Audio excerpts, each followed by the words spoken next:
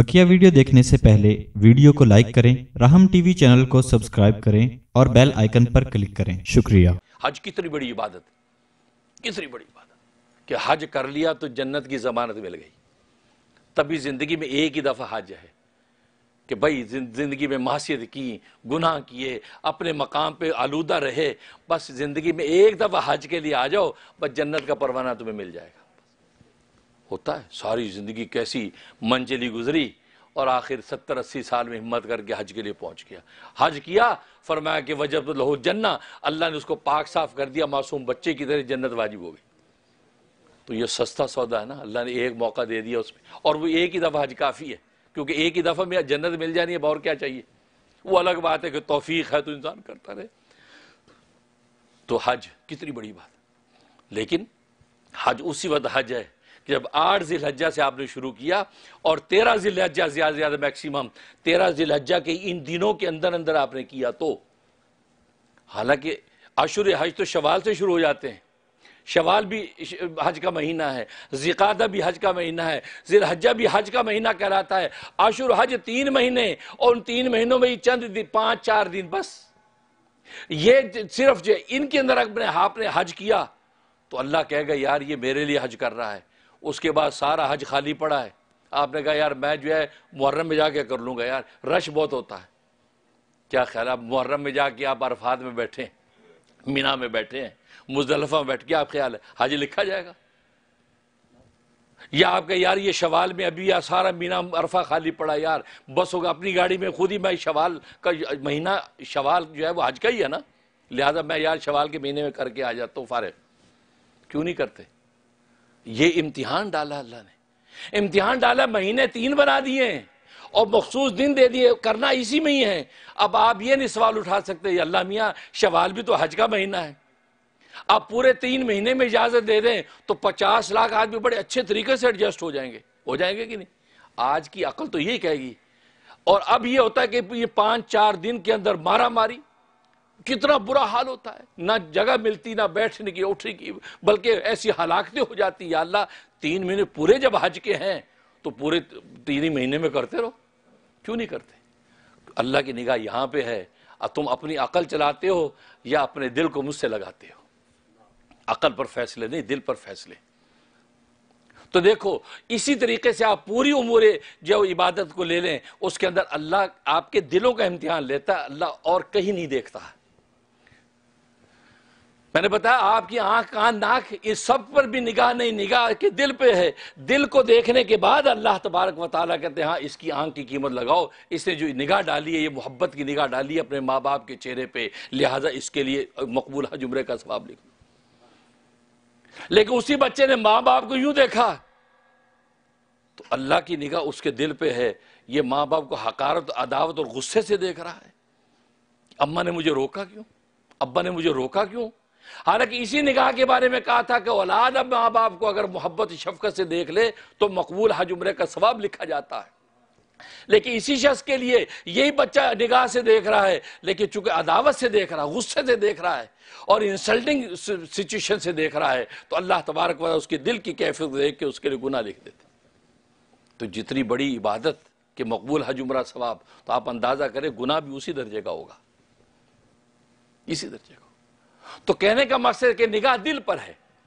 बस दिलों का इम्तिहान, दिल का तजकिया, इसलिए तो नबी पाक सल्लल्लाहु अलैहि वसल्लम का पूरा एक वजीफा, वो युजक्की हिम आप जी की ज़िम्मेदारी, वो युजक्कीम दिलों को पाक करते क्योंकि दिल जब पाक हो जाते हैं, मैंने बताया कि दिल बादशाह है तो फिर सारे बदन से आकाम साले ज़ाहिर होते हैं। हाथ भी उससे, से भी नेकी ज़ाहिर होती है। निगाहों से भी तकवा ज़ाहिर होता है।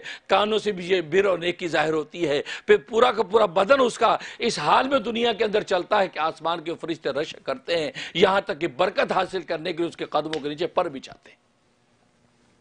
इम्तिहान दिल का है। बस, अब यही अयाम हज आ रहे हैं। हज का महीना है।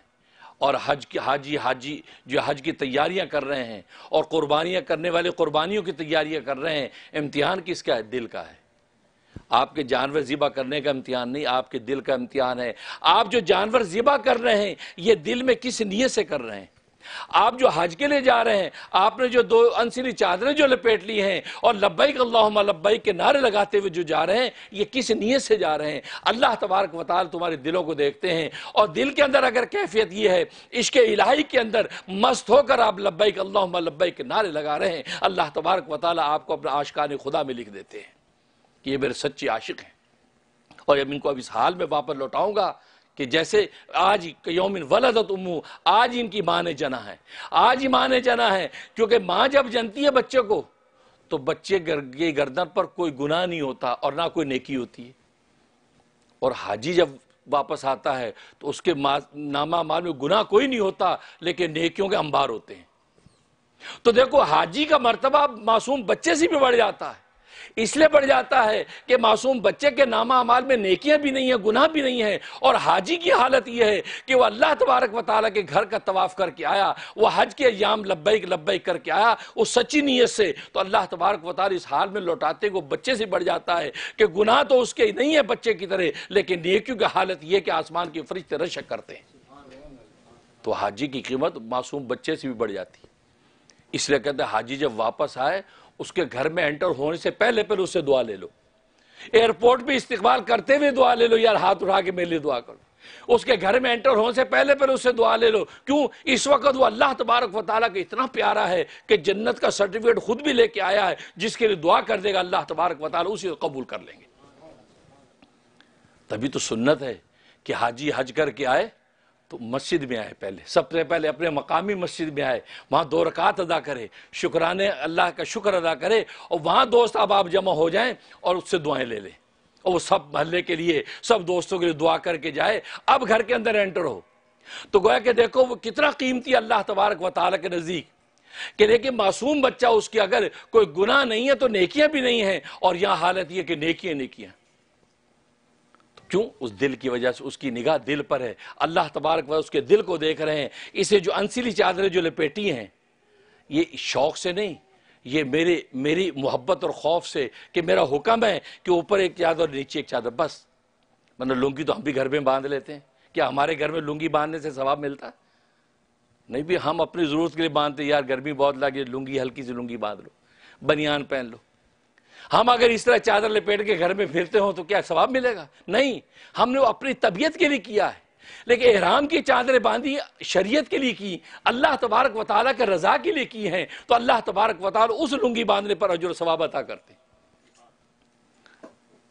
गोया कि आपने जूते उतार दिए, आपने पगड़ियाँ, टोपियाँ, ताज उतार दिए, आपने अपनी खुशबू तरक कर दी, सब कुछ तरक करके दो अनसीली चादर लपेट के फिर रहे हैं। यहाँ तक कि आप नहा नहीं रहे, पसीने की बू आ रही है, खुशबू नहीं लगा रहे हैं और मिट्टी या ताफर सब कुछ आ रहा है। लेकिन ये सारा कुछ चूँकि आप अल्लाह के लिए बर्दाश्त कर रहे हैं, आपकी नीयत यह है कि मैं अल्लाह का आशिक बन के जा रहा हूँ, अल्लाह उस दिल पर देख कर आपके लिए जन्नत को वाजिब कर रहे हैं। हालाँकि ये सिचुएशन हमारी घरों में भी तो होती है। लेकिन नहीं, उस पर कुछ नहीं, क्योंकि दिल को जब अल्लाह देखता है, अल्लाह कहता है कि अपनी ज़ाती ज़रूरत के लिए इस कैफियत में है, ये मेरे लिए नहीं है।